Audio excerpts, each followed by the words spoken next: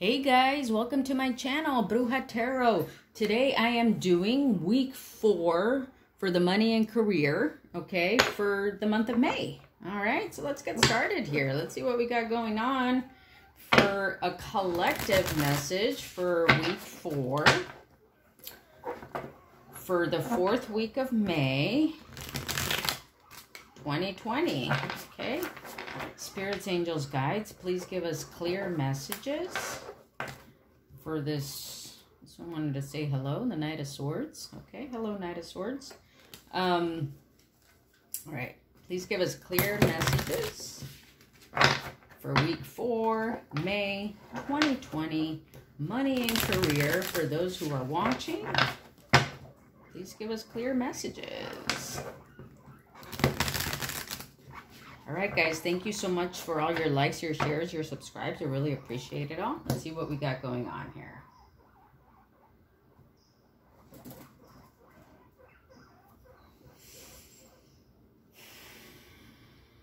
All right. That's my guinea pig in the background. If you're listening to some some beautiful chirping, that's him. All right, I'm going to pull five cards, okay? Um, for week four. Okay, and as you may already know, this is the Chinese Tarot deck. All right, and then I'm going to pull a fortune cookie at the end for this reading. Okay, let's see what we got at the bottom of the deck. The bottom of the deck is the Ten of Cups. Okay, and uh, the Six of Swords. Okay, that's great. So I guess we're moving into, um, you know, a we're moving into calmer waters here in week four. We're going to have um, emotional stability, happy family, happy life, coming coming together maybe with our family, okay? It's a possibility for some of you. Okay, but definitely I feel like going into calmer waters where we're going to have a lot more emotional satisfaction here, okay? Let's see what we got here. And if you haven't seen yet my um you know, my videos for money and career for the first three weeks of May. I recommend that you look at my playlist for money and career and you'll be able to see those there, okay? You might have, there might be something there that might resonate with you. All right. In the current position is your current financial situation, okay? King of Staves. All right. This is a good place to be, okay? King of Staves is somebody who feels very confident, very mature, full of, you know, um, creative expression, okay? Somebody who's well respected in the community and their home, okay? Um, so because they're well respected, they're well taken care of, right? And you can kind of get that sense here how this king is being taken care of by the people by the women surrounding him, right?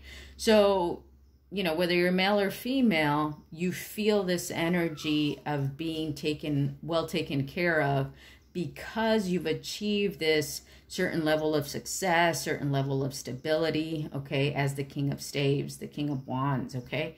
The King of Wands is also, you know, kings tend to be very uh, not only stable, but they're also very generous. So you might be feeling a position as if you're very generous right now, too, okay?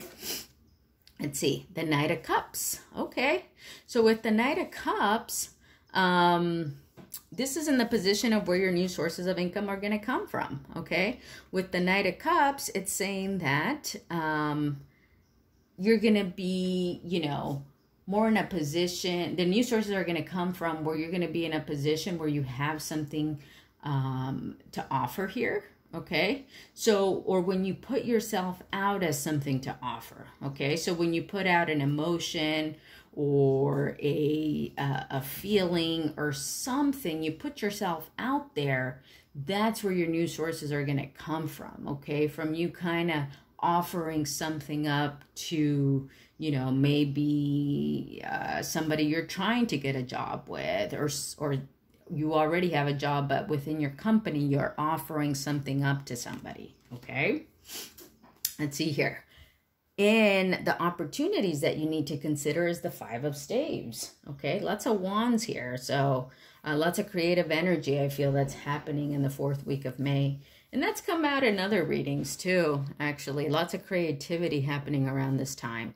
So the opportunities that you need to consider is the Five of Staves. So the Five of Wands tend to tends to be that card where people are kind of like in conflict with each other. But in this one here, I feel like it's more like you know, uh, different personalities coming together to discuss something, right? So the opportunities that you need to consider is somewhat the opportunity where you can come uh, together with others and kind of share your creative ideas with each other, okay? Where you each kind of bring some level of knowledge to the table, right?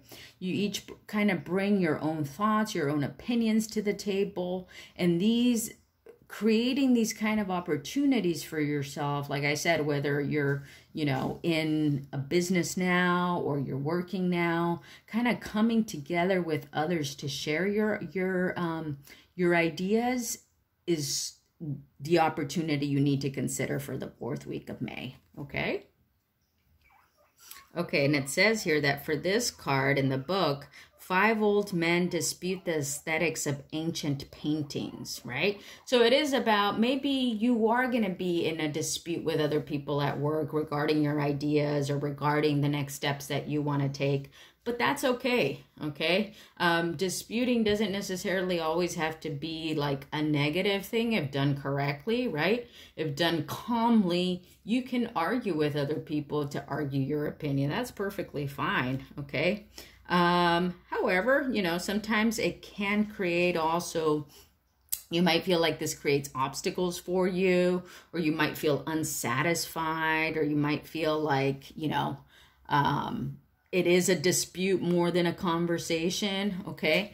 But it's still in a position, this card is still in a position of the opportunities you need to consider. So it's saying, you know, don't back off from conflict. It's okay to engage in conflict. It might not be, you know, what you want to be doing. Um, but ultimately, I think this conflict is probably going to need lead to some very creative ideas here okay? So let's see how these opportunities are, are going to benefit you. Is the 10 of staves yeah. So you're going to arrive at this point where you feel like you've put in the hard work okay? Um you're you're kind of maybe you're ready to put that burden down okay? Maybe you did what you could here.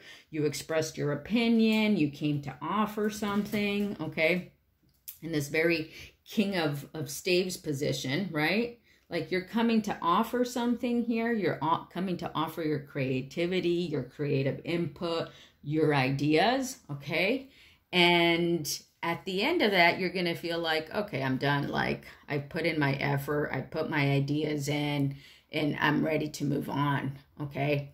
But that's okay. It's okay to be that because I think what, what this reading is saying for the fourth week of May, for who this re- reading resonates for, I think what it's saying is that because you're this king of staves, this very stable person who has a lot of knowledge, you want to bring your knowledge to the table here, okay? You want to bring your creative input to the table, okay?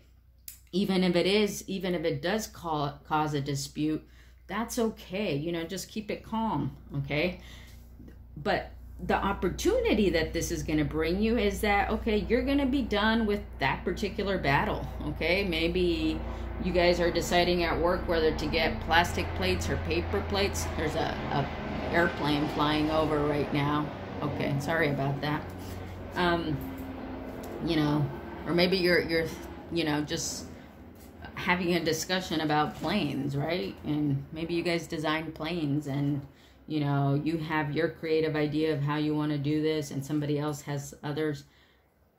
What I'm trying to say here is that once you bring your input and your knowledge into whatever is happening here for you, you're going to be able to put that particular burden down and you're going to feel satisfied even though you're going to feel tired from it you're going to feel satisfied that you put your best foot forward okay now let's see what the outcome is going to be for the fourth week of may is the empress yes because once you do this hard work here, okay, of putting yourself out there, giving your opinion, okay, you're going to feel like the empress, okay? You're going to feel like this very confident individual who's fertile. And when I say fertile, I just don't mean like you're going to have babies, but you could have creative babies, right? You could have creative ideas and the you're going to feel very well respected, okay, as the empress, okay?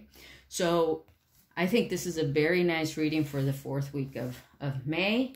There's a little bit of potential conflict happening here, but I think the important thing is to stay calm and know that you're in a position to bring something important to the table, okay? And that it's necessary for you to bring that important piece to the puzzle, okay? It, your input is needed, okay? All right, let's see what we got here. Please give us one card from the, oh, here we go. Ooh, sunshine. Sunshine. It says, the sun is shining on you. Career and business growth fabulous communication and relationships. That's wonderful. Let me read that again because I think I stumbled on my words here. Sunshine. The sun is shining on you, career and business growth, fabulous communication and relationships. Yeah. Okay. So just know that the sun is shining on you in this little potential conflict that you're going to come into. The sun is shining on you because you need to bring your knowledge forward here. Okay. All right, let's see what we got here, guys. I'm going to pull a card here, too, from the Music Oracle, because this is a fun little, fun little spread, fun little deck here, okay? Spirits, Angels, Guides, please give us one card. For those who are watching for this fourth week of May for the money and career reading, please give us one card. Money and career, week four,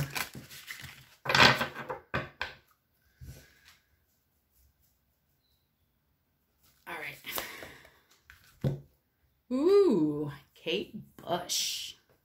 Any Kate Bush fans out there? Never let go of mystery. Cultivate nostalgia for what never was. The arrows of desire are sometimes dipped in poison. Ooh, okay. All right. Let me read that to you again, okay? Kate Bush. If you've never heard her music, she's pretty cool. You may want to just listen to one of her songs after this. Never let go of mystery. I think that's an important thing to do. Never let go of mystery. Keep that idea of magic and mystery alive for sure. Cultivate nostalgia for what never was. Okay.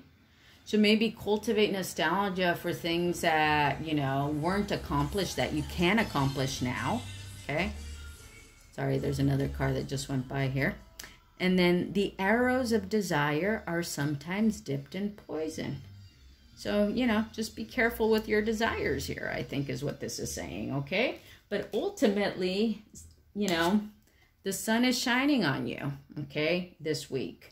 So put yourself out there with your ideas calmly, and you're going to have great results.